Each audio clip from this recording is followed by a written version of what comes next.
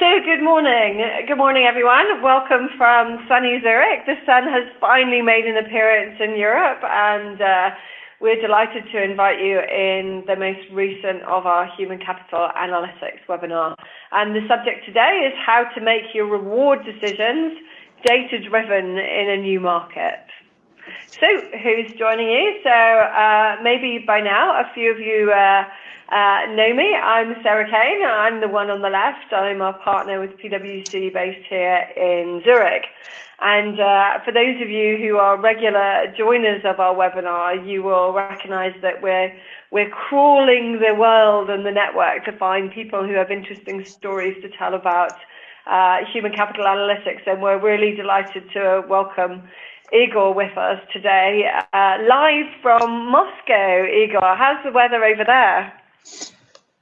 Everything is sunny in Moscow. Uh, good morning, everyone. Uh, my name is Igor. Uh, I'm manager in the in the Russian PwC People and Organization uh, company, uh, and I've been with PwC for the last three years, uh, and seven years before I have also been focusing on the reward and organizational development. Recently, I combine it with the HR analytics topics, and uh, hopefully today I will be able to tell you a very interesting case and a very interesting story on how it is done.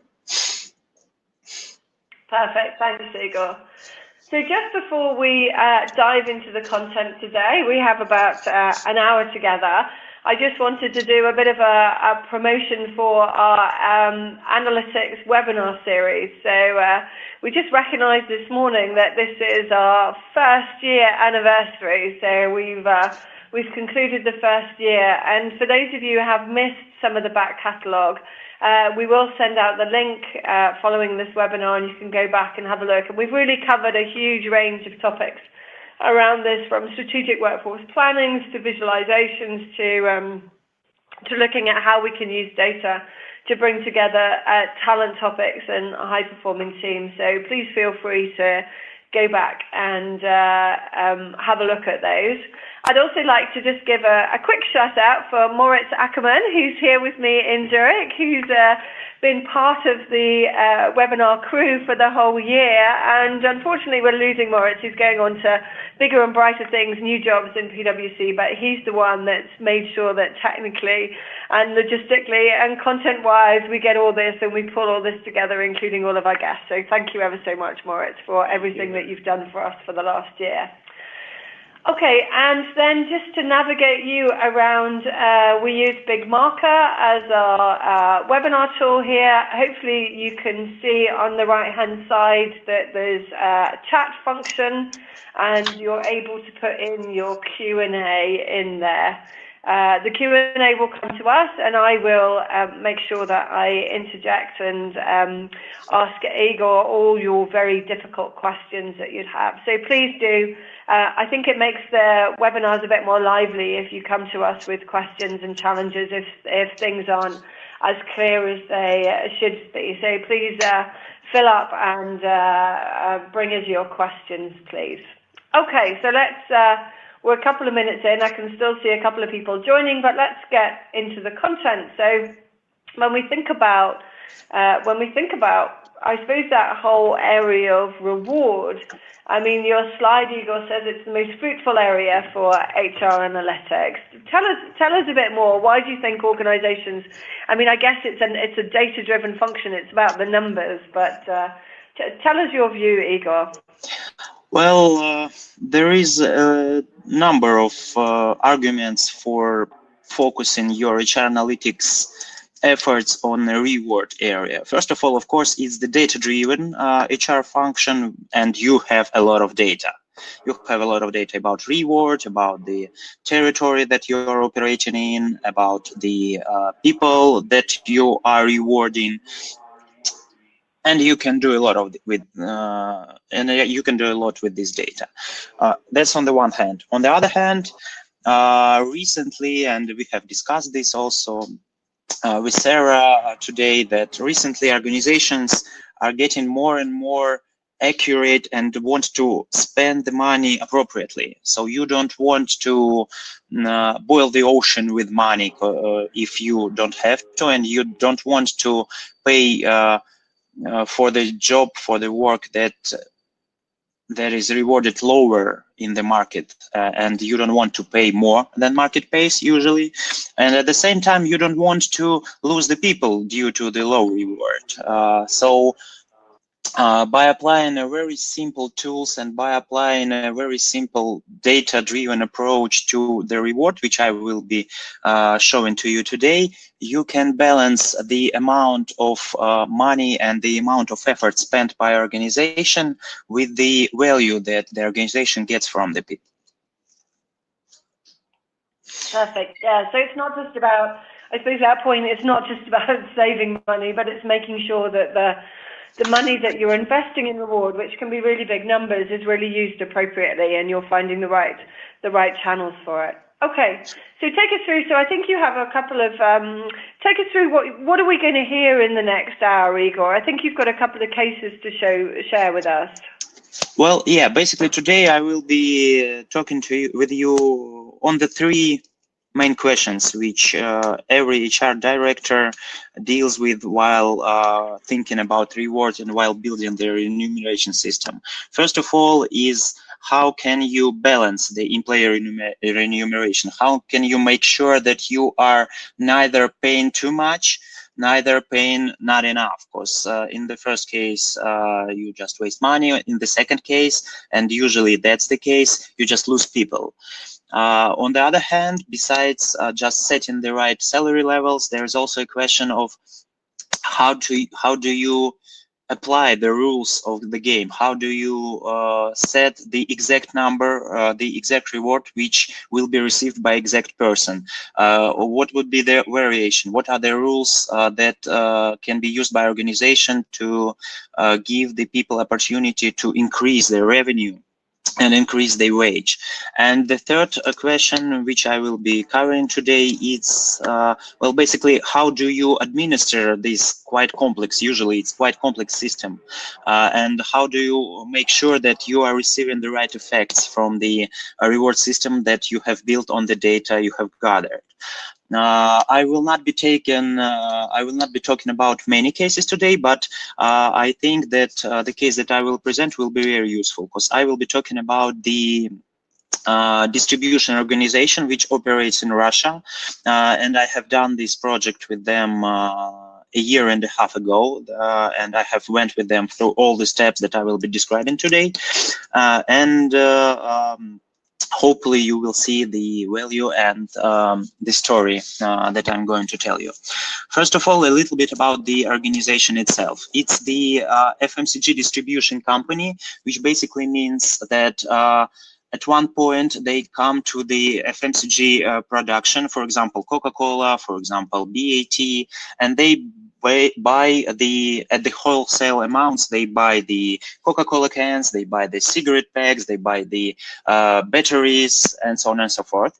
Then they take those goods to the local retailers. Usually, it's very small, very um, uh, price sensitive uh, retailers, uh, cash and carry points, or some maybe local retail branches.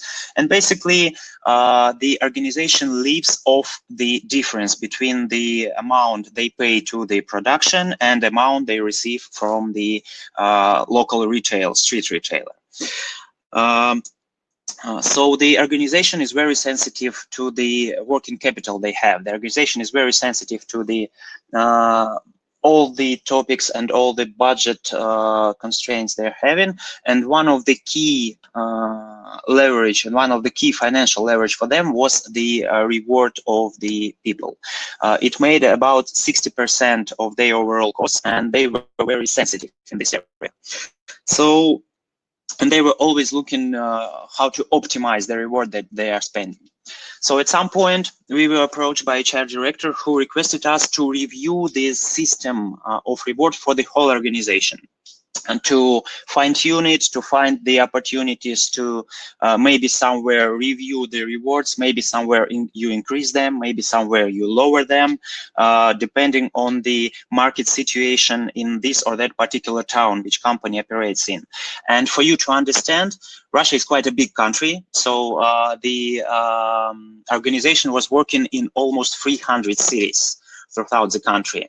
Uh, later in my presentation, I will be referring to the regions and to the macro regions. So Russia is divided by seven so-called macro regions. Uh, you see them uh, on the slide. And also Russia is divided by the regions. And when we are talking about the country and we are, when, we, when we are talking about the city, uh, we should understand that in one city, in one region, there might be a dozen of the cities in which company works, and uh, salary in these uh, regions it will be in, in these cities it will be different. So for example when you have moscow region there is moscow and there's yaroslavl in there. And salary in those uh, two cities well it can differ by almost 30 percent uh, so on the one hand, the company had a lot of points and a lot of markets where, where it operated. Uh, you must understand that if we have 300 cities at the moment, that means that in uh, a year or two, we will be ha having 400 cities and so on and so forth. That's on the one hand. And the, other, on the other hand, the company is quite big in terms of uh, employees. Uh, we were working only with five grades um, in the organization, uh, mostly the logistical stuff and mostly the sales stuff. Uh, but nonetheless, we had to deal with uh, 6.5 thousand employees in the database. Uh, which uh, also increased the complexity of the exercise and which also allowed us to find a lot of opportunities to balance uh, the reward that company was paying to the uh, particular people with the reward which was suitable for the particular city and for, for the particular uh, labor market. Um, the task was basically uh, split in three uh, in three steps. First of all, we needed to review and rebalance overall approach to the um, reward to the reward system that the uh, that the company was applying to its employees. And when I'm talking about the optimizing the reward, basically it's the trick of balancing internal fairness and external competitiveness. So on the one hand, you have to give a similar reward for the similar value added uh, at the particular job. So you can't, if you have uh, two people who do the same job, who add the same value to the organization, you can't pay them uh, different reward. That's on the one hand. On the other hand, you always have to keep in mind the external competitiveness, the labor market and the scarcity of the talent and the scarcity of basically the working hands in different cities that you work in is very different. And for the same uh, job and for the same amount of tasks delivered in city A, you can pay, let's say, 100 euro. But in another city, when there's not enough uh, people, you basically have to pay 150 euro just to get somebody in the place. Uh, so when we were talking about the particular company, you can understand that they are having like 300 cities where um, market data varies a lot and sometimes you just don't have the understanding of how much the people are paid in the particular city because uh, there's just no data. Uh, and at the same time you have to clearly understand for what are you paying. What is the um, amount of value added by the particular job and how much are you ready to pay for it. Besides that, there is also other factors that you need to, to account for. It's of course the law compliance. It's of course the comprehensiveness of the system. It's of course the uh, well, it's hard to make such a system easy for, let's say, backend for the HR, but uh, the system must be very easy to apply and to understand for the front end for the managers, for the uh, employees, and in the same time it have to be flexible because you can't always uh, have the right decision in the headquarters. Sometimes the right decision can be only made uh, down there down to earth or in the particular city. And once again as i have mentioned for the company the labor costs were the biggest uh, cost. So um, the overall reward system was cost effective Uh, sometimes in uh, different types of organizations, we just see that organizations are not ready to deal with the reward in terms of making it data-driven, in, in making it very, very articulate and very complex. But for some industries and for some companies, it's just uh, it's just a matter of whether or not you will be successful as the financial organization. So uh, the yes.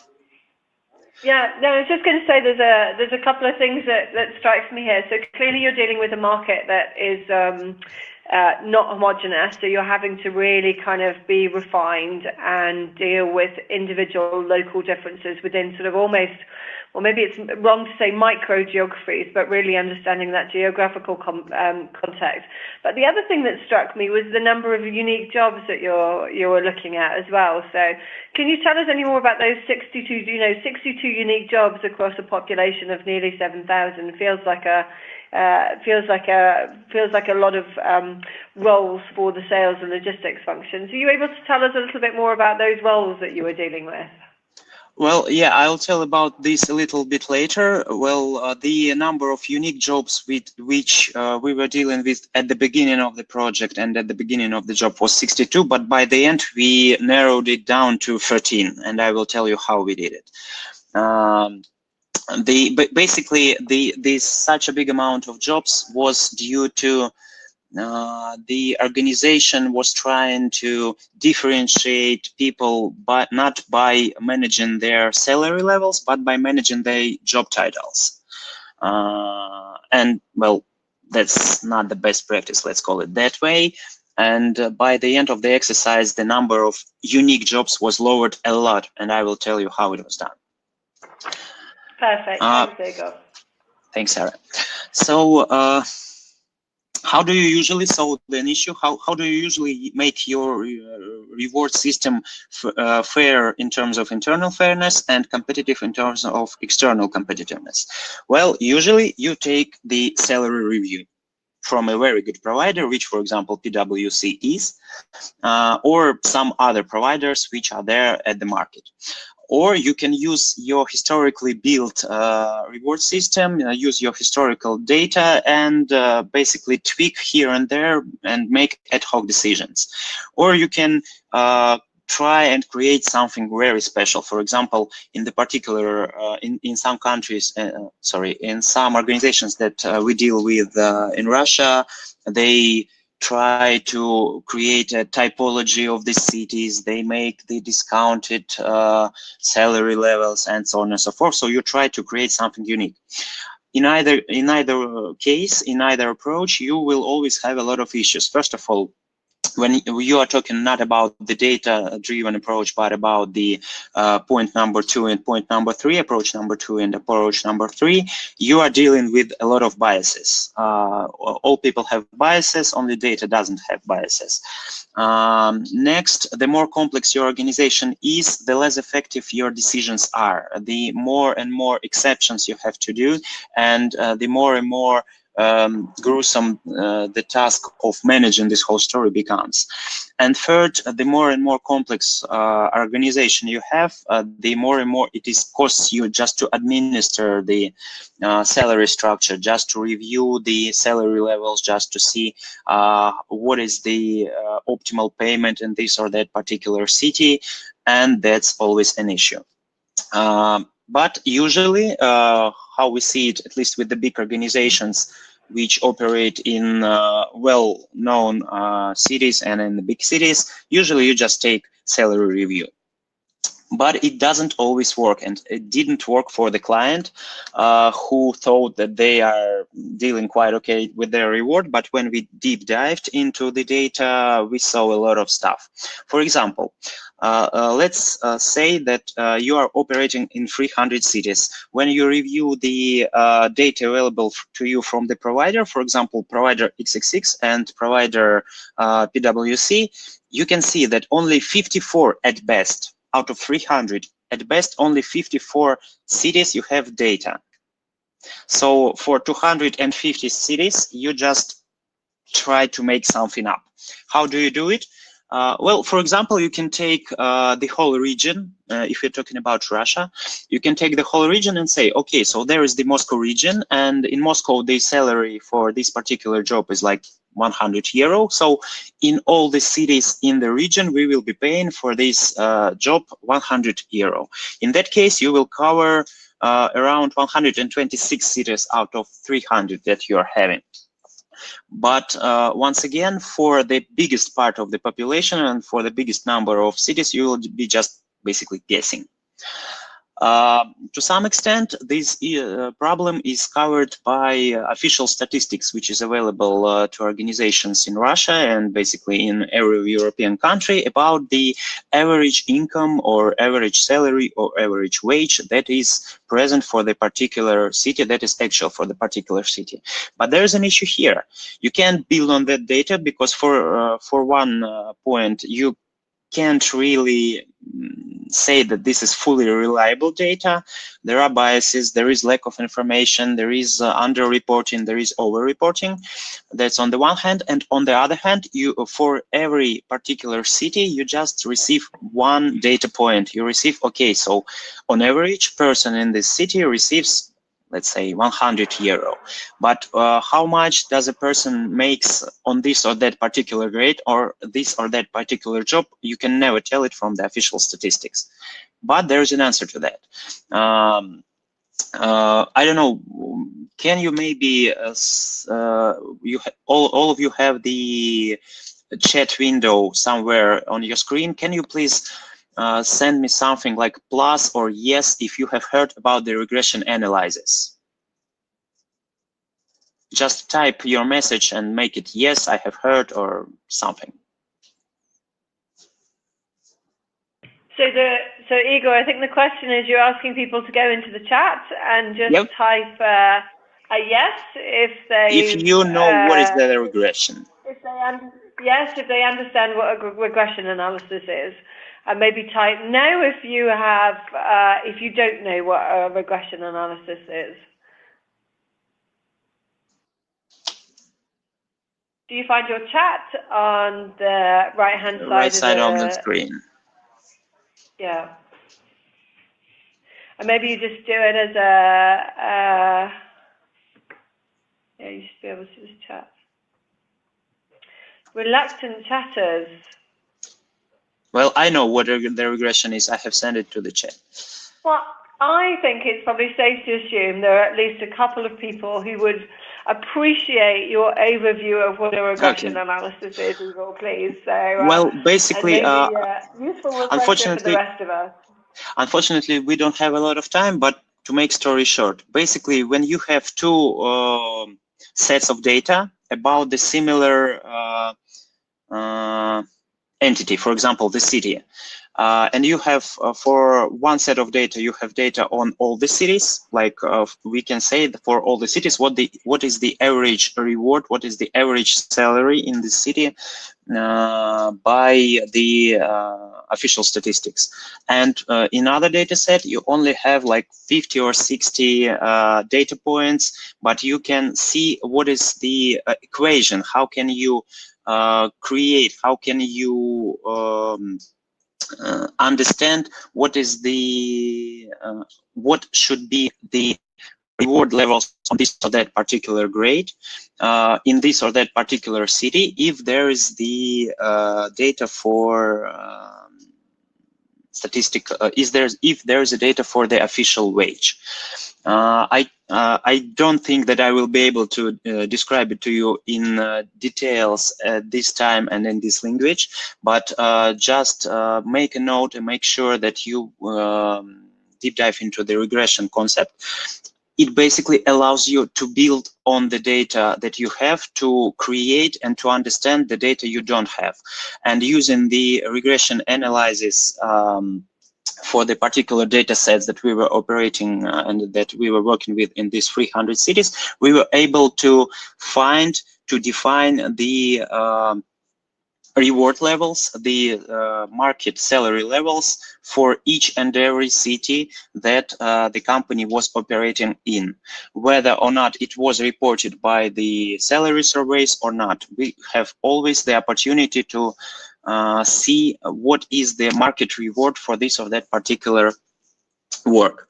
And that allowed us to uh, significantly increase the accuracy of our reward system. That allowed us to say not just for 29% of the population what is the uh, factual reward that they are having uh, in this or that, what is the factual market reward that one should have for uh, the uh, job in this or that particular city, but overall, what is the uh, reward, what, what are the money that people are receiving for this type of job. Of course, uh, to some extent, uh, the data that we uh, get from the regression analysis was uh, technical, but we checked for it uh, and uh, it was correct. So after applying a very okay. simple regression so analysis maybe, tool, yeah. Yeah, so yes, maybe sir? a question there, Igor. So I suppose it's this, it's this notion, right, of taking two I suppose, almost incomplete data sets and trying to work mm-hmm. out if you can put them together to create some um, uh, uh, insight into mm-hmm. for this for this circumstance is really the you know for the cities where you didn't have the the PwC or other providers benchmark data, how did you extrapolate that and start to come up with um, what you felt? Did you, but I'm just, I suppose a question, and I understand the sort of mathematical validity of your approach, but maybe a question in terms of, did you actually test it? Did you actually sort of go and say, right, Vladivostok, we've now, you know, we didn't have good market data, but now our regression analysis is giving, is pointing in this direction. How did you test uh, the accuracy of what you'd come up with? Uh, well, basically, uh, thank you for the question. Basically, we looked at the regression analysis and we searched for the spikes or some uh, data points or some cities where we received an unexpected result results. And after that, we basically called the headhunters, called the recruitment agencies in the particular city. That wasn't Vladivostok, but that was, for example, Yeysk.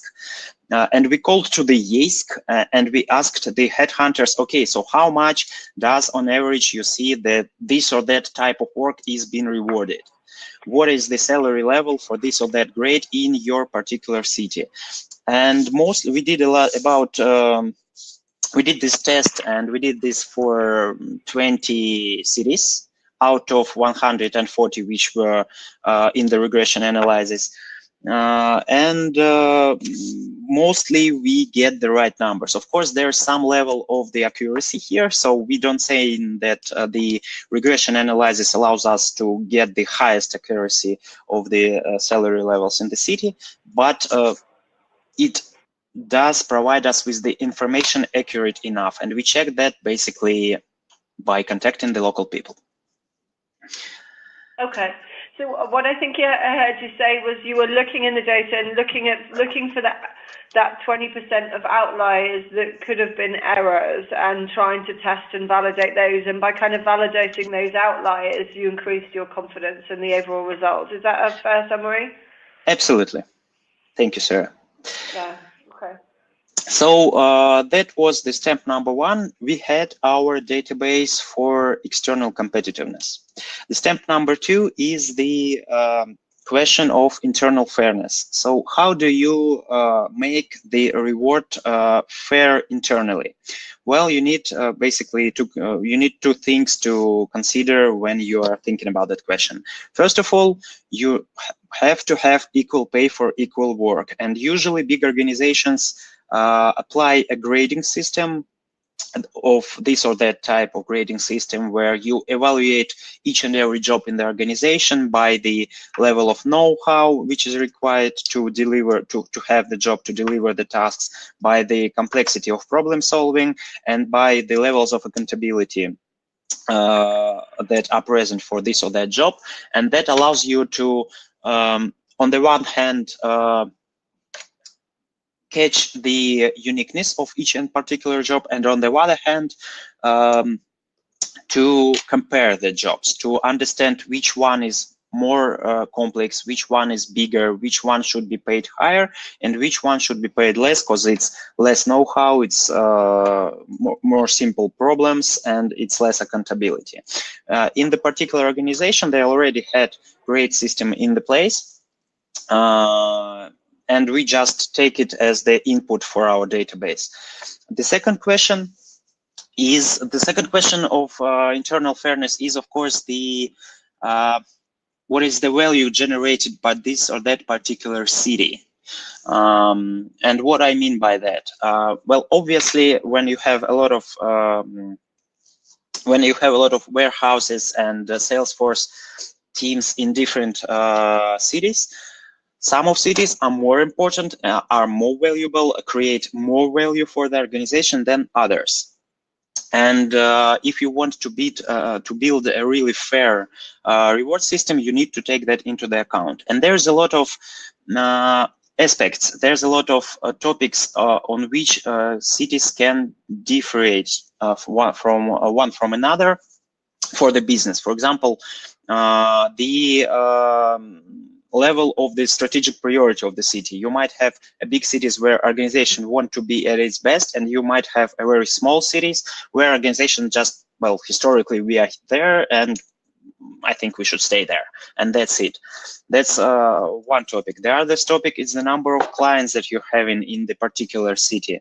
Uh, the third topic is the profitability of the operations in the particular city and so on and so forth. And uh, you have to, when, when you are thinking about the internal fairness, you have to take all of those into the account, all those topics, all those points. And here we come to the second, uh, once again, quite simple HR analytic tool, which helps you to understand the value of this of that particular city. It's called cluster analysis. I'm not going to uh, elaborate about it a lot, but long story short, when you have a lot of data points, when you have, for example, 300 cities, and you need to understand uh, is there any similarities between them? You can take, for example, and group them. You can group them by this or that uh, variables. You can group them by profitability, you can group them by the number of people who are working in this or that particular city, uh, and so on and so forth. And to do so, you use cluster analysis. Basically, uh, by clustering, uh, when you are clustering cities, you review the similarities between this or that city. Let's say the distance between every city in the Russia. Uh, when you see when you see the map of the country, you can see that some cities are closer one to another than um, other cities. And you can see that at some point you just see the groupings of the cities based on their distance uh, between one another. The same logic can be applied to any variable. For example, you can group uh, cities by the uh, profitability you can group cities by their revenue. You can group cities by the uh, amount of people uh, that are working in this or that particular cities.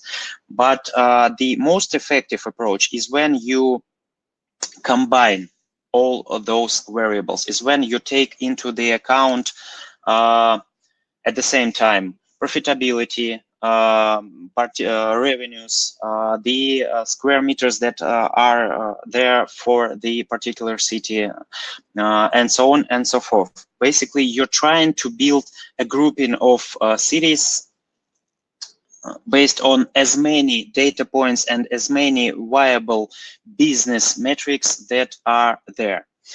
Uh, it can be done uh, with uh, really simple statistic tools. And at some point, you just uh, put all the data in the system and the system tells you, okay, based on the information that you have gave me, you have, let's say, three types of cities. The big cities with the big revenues but low margins, the big cities with big revenues and high margins, and small cities with average revenues and average margins, for example. And um, this tool and this trick allows you to not build the system of 300 different types of cities, but with uh, a lower number of um, categories, which will allow you to differentiate the reward. Um, uh, and in terms of the particular project, what did we do? Yes, Harry? Yeah, yeah, this is helpful. We've um, we've dealt with uh, clustering in a number of the webinars that we've done. You know, we were looking at it when we, for example, talked about strategic workforce planning. How can you find people who do similar jobs by clustering their capabilities together? But in this case, you, you did. I just had a question on tool. What what tool were you using to create this clustering around? Um, this set of cities, Igor? Uh, basically, we did it in R. Um, uh, my team uh, usually works with R or Python, mm, and it's yeah. the the R is uh, freeware, and you just need a, a couple of weeks of training uh, to work with it and it can do basically any statistical trick and any statistical analysis that might be required for HR analytics. Okay. Good. So uh, for the particular client, uh, at some point we said, you just can't operate the reward system that have 300 cities. You need to cluster those, yes? Uh, and to do so, first of all, uh, you need to define the set of indicators which differentiate one city from another. Then we will cluster those in terms of statistics and we will tell you that, okay, in, in reality, you have not 300 cities, but let's say 10 clusters, uh, 10 types of cities that you are operating in, and you should differentiate your reward based on this typology. Uh, of course, besides just simple uh, data gathering and, and, statistical clustering, you need to also do the logical check uh, during this exercise because uh, there is um, not all data can be gathered. Uh, there are some plans for this or that particular city. There is the operational business plans. There is uh, some specifics of cities of presence which cannot be uh, digitized. For example, in Russia, we have this term called cities of the far north. Uh, it's uh, basically it's the cities uh, to which you can't get at the whole 12 month of the year. So the weather there is so bad that at some point for a month or two or three, the city is, uh, well, basically just can't there. And this uh, requires some specific logistics uh, this is requires some specific uh, financial investments in these types of city and in operating in these types of city.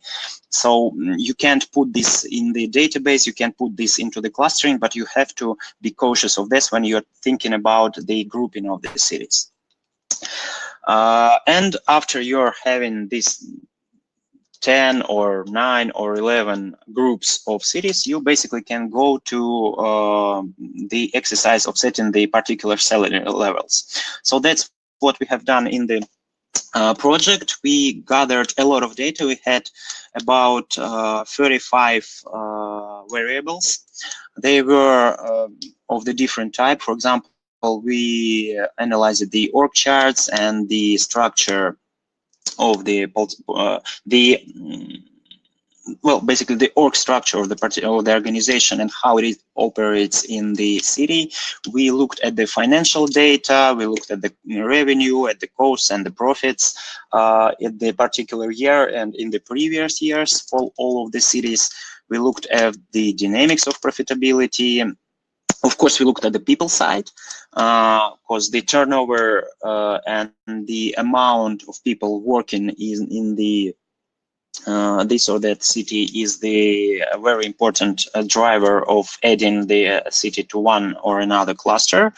And we looked at the client basis, at the client information, what type of clients do we have in this or that city, what is the size of the warehouses, what is the type of the warehouses, and so on and so forth. So there were a lot of um, thinking before you, well, basically it's the ground rule of the HR analytic. Before you do any exercise in statistics, think very good. What data do you need? What questions do you answer? And what should you put into the database and uh, what should you do with the data? So that, that, that was quite an exercise. Uh, I will not be uh, given a lot of details here, but at the end we got the nine clusters. They very uh, they were uh, very different.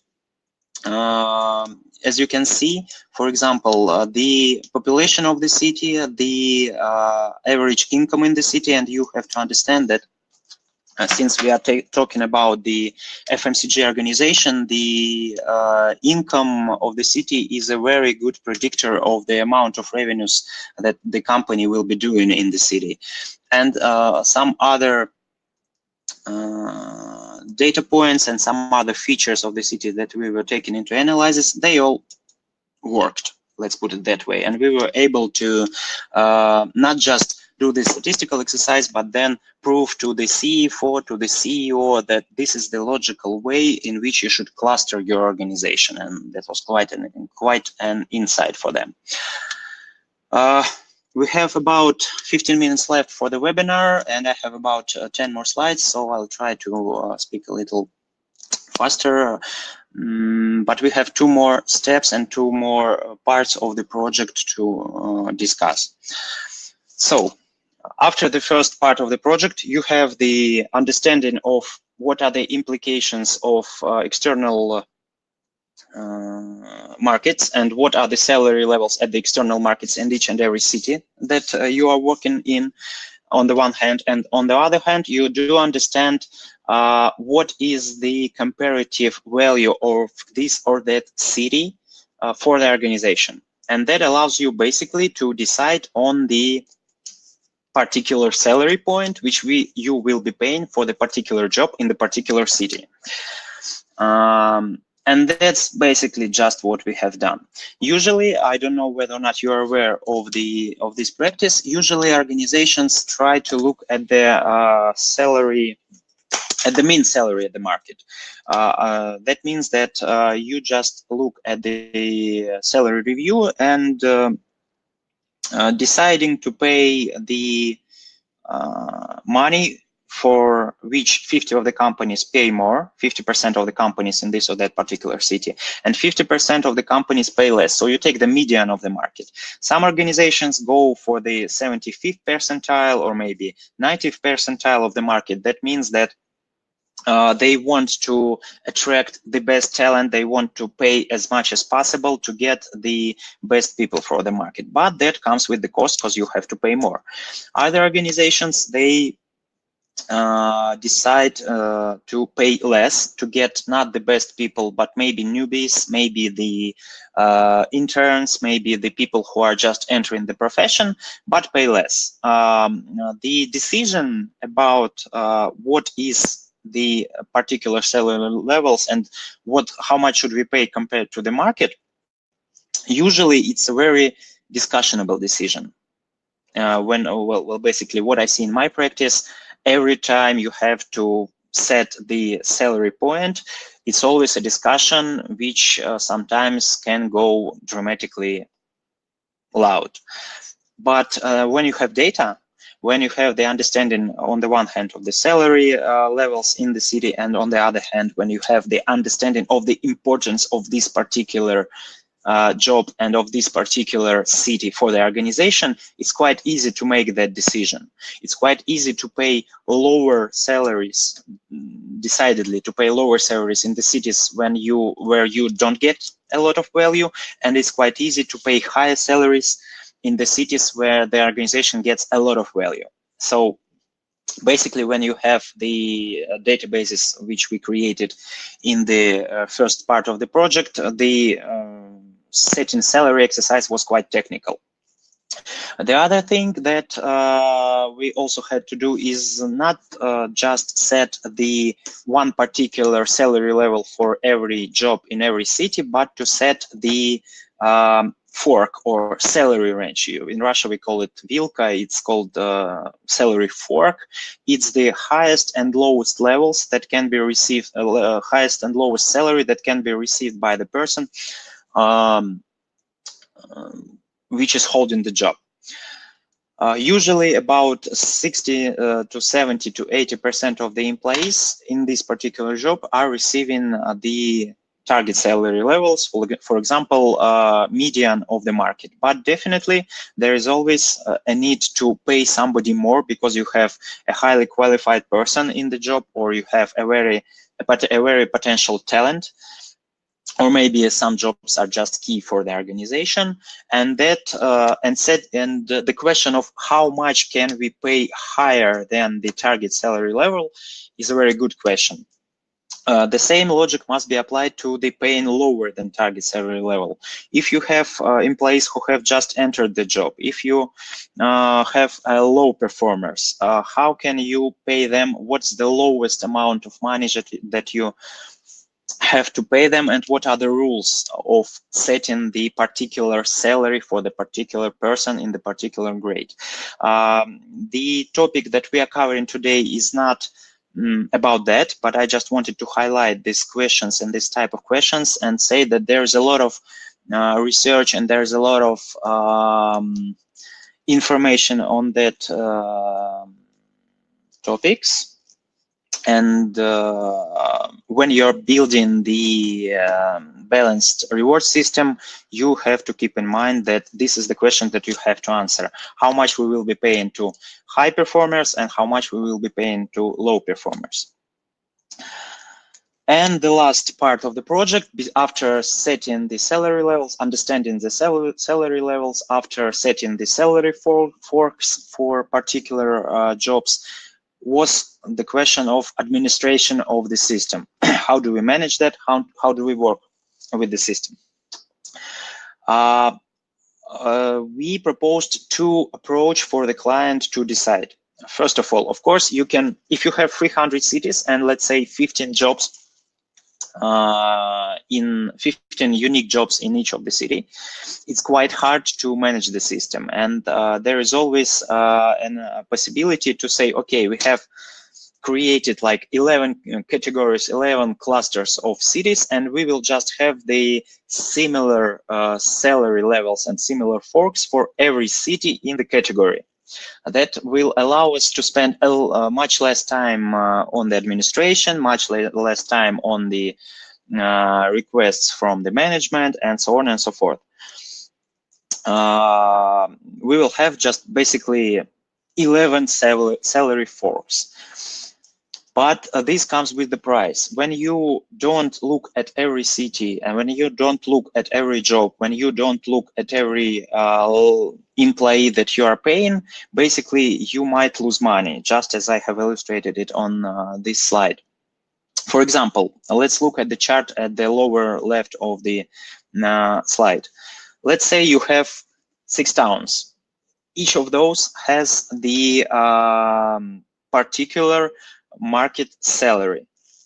And when you are having not the town by town reward system, but cluster by cluster of towns reward system, it is quite obvious that you will be overpaying in some cities in the cluster and underpaying in other cities in the cluster, which will lead on the one hand to basically wasting your money and uh, putting your money not in the right place in the cities when you uh, pay too much and losing people in the cities when you don't pay enough. So uh, basically, when I get uh, questions about how do you administer such a massive and such a complex system, um, I say, well, it's tough and you have to um, digitize it and make it IT solution as soon as possible, but you just have to look at every particular city or you will just lose the essence of the exercise.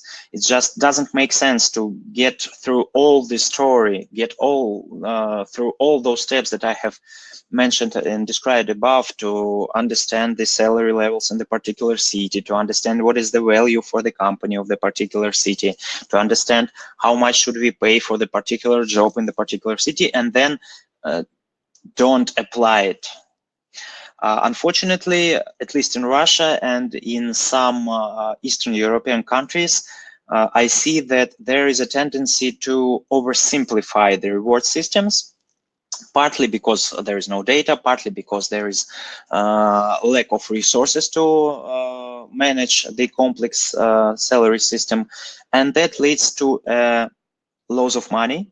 That leaves that leads to the inappropriate spending of the money. Uh, basically, that's what I have said to the HRD, and then that's what I have said to the CEO of the particular company in the particular project. And that's why they have decided to add two more FTEs to the HR department uh, for the for the task of simply managing that systems, managing that system of reward and they basically won with that uh, because return on investment that we had for the project was quite significant. Some approximate numbers are here on the slide, but uh, the more important thing is that uh, as I have mentioned, we have um, made this project about a year and a half ago, and the attrition in the cities in, uh, where we said, okay, guys, you're paying not enough. You have to increase the salaries in this particular city if you want to be competitive and if you want to balance the reward and the uh, value for the organization, which is created by the particular person. So the attrition in these cities, it dropped significantly. And the organization in the last uh, one and a half years, I have been contacting with them uh, regarding the project. They were very happy not about the cost saving which we provided to them, but they were more happy about the increased opportunities to deliver business results in the particular cities that we were having with this system.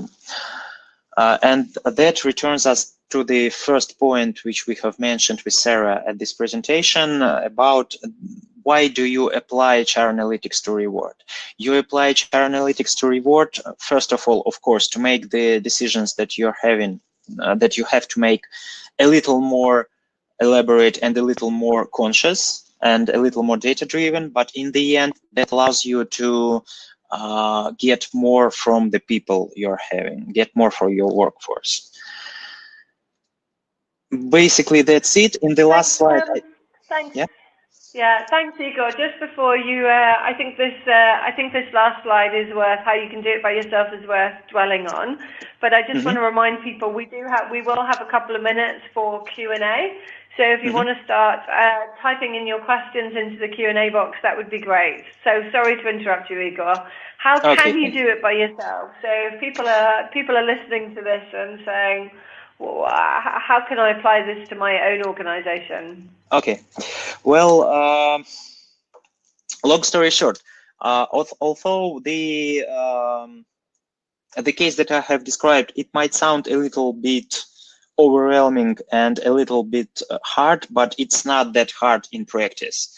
Basically, the things that you will need is more or less sound data about the organization on the one hand about the people uh, and about the workforce, on the other hand about key uh, metrics that you are having, uh, key business metrics that company uh, looks at and which affect uh, company performance. Then to work with this external competitiveness, you might also need uh, some market data, uh, both from the provider and of course you will need the uh, data from the state authorities. I'm quite sure that uh, in every European Union country, you have a lot of uh, this data, because in Russia, sometimes it's tricky. Uh, and um, besides data and the understanding of how you should work with the data, you just need a very simple tools and a very simple statistical uh, exercises.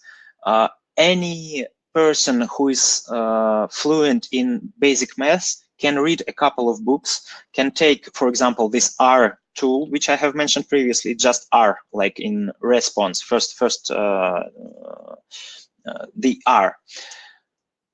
And you will need only that. You gather the data on the cities, you gather the uh, data from the provider, you put that in the R, you do the simple regression. There is uh, already solutions for this uh, in uh, open source um, internet all after that you just have the business relevant metrics data and you make the clustering with them and you have the understanding of uh, relative value of this or that it might be city it might be sales team it might be i don't know any unit that you're working with it might be even the uh, value of this or that particular job that you are dealing with uh, and after that once again setting the salary levels when you have the understanding of the markets and when you have the understanding of the value of the particular city, it's quite simple. You don't need any specific uh, skills and you don't need any specific tools uh, that are not available at the moment freely in Coursera, in internet, or in the books. Um, hopefully I was able to uh, describe you the flow of the work that you are dealing with. I will be happy to answer any questions at this moment, or you can contact me uh, later via Facebook, via my email. Uh, I'm much better in uh, written English than in oral English. Uh, I will be happy to help. Basically, that's it. Perfect. Thank you, Igor. Appreciate that. Um, I, and I think a really interesting example in terms of how you can really look at your reward in a different way and start to start to think about um, the different dimensions and how the data you have got can can really help you. I'm just having a look to see if we uh, have got any questions coming through on the Q&A. Uh, uh, don't take it personally, Igor. Sometimes we have loads of questions, and uh, quite a lot of the time we don't have uh, any questions. Uh, we have one question, which is to play, uh, share the slides. Of course, we actually uh, share the recording of the the webinar, but specifically for you, we'll also get you a copy of the slides too. Okay. any other any other questions that people have? I mean, maybe just a bit around. So, I mean, the opportunity, the opportunity was there for this, um, you know, saving and better use of the investment and spend. Can you maybe just say a couple of things about how the organisation went about implementing uh, once they had this new data and this new insight in terms of their in terms of their reward landscape across all of these different geographies. How, how did they then take it into the business and really make this live? That's quite a good question. Thank you. Um, basically, oh, I see there's one more question and I will be happy to answer it. In terms of implementation, when you have the design of the system, uh, you roll it on the organization in, uh, well, you, you, you, of course, you don't uh, lower the salaries for their people in the jobs that have to be with the lower salary, but you do increase uh, the salaries for the underpaid. Uh, and um, uh, for the particular project, we created a six months rollout plan uh, thankfully, the specificity of the attrition in this industry, well, they, they were losing people a lot. They the average lifespan of the person in uh, in the company was about year and a half. Uh, so whenever there was a placement in the organization, whenever they looked for a new person, they looked for, uh, they used a new salary uh, structure, a new salary level for this particular job. And by now, almost 60% uh, of the staff that was in the perimeter of the project, uh, they are working under new salaries, under refreshed salaries. The 40% of the staff are working uh, in the old system? Well, because you just can't lower the reward by, by Russian laws, by compliance with the Russian uh, uh, labor laws. You can't lower the reward in any case. Uh, but you can wait till the person leaves. And then when you are looking for a new person, you will just set a new salary for uh, the, uh, the the guy or the girl that you will be uh, attracting. So it took them some time to implement, but it, it was quite technical. You just change the salary levels at the recruitment. Yeah, okay. Thank you. So there's another uh, question. So thank you for this exciting presentation. I'm wondering about the amount of data needed to support such a project. So general data per city, maybe not sufficient. And maybe mm-hmm. the client will ask specific questions about uh, how relevant is the data to specific types of jobs or market practices. That's so a very good really question. a specific question of, yeah, a really good question around kind of, you know, the data and the validity of the data that you need to use. Well, of course, the uh, the more people and the more jobs are there in the project perimeter, the more complex the data becomes. For the particular project, as I have mentioned, we were dealing mostly with the low level uh, sales and logistics. So it was first line salespeople and it was uh, people who are operating the warehouses. Uh, so in terms of difference, we, we, we basically had two types of work, two types of jobs uh, in the particular project. But you are quite right in your question that when uh, you are going uh, into specific um, types of um, work, you will have to, the, the complexity of the project will increase. That's on the one hand. On the other hand, in terms of data needed, you need a better understanding of the um, you need a better understanding of the workforce and of the competences which you are dealing with, but uh, usually all salary providers, they do have a very specific set of data for a very specific types of jobs. So for example, they provide you with information uh, on how much is data engineer is paid in this city or how much the uh, HR professional uh, is paid in this city. And they vary that by grade. So in this uh, essence, uh, you will need data from the organization and uh, the, the, more complex the organization, the more complex the data you will be having, but the providers will cover all the needs for the external data. And once again, if we are talking about the uh, official statistics, well, of course, they don't, they do not uh, differentiate the types of jobs and the, the types of uh, work. They only set the average wage, but uh, you only use this in the regression. well, I hope I have answered the question.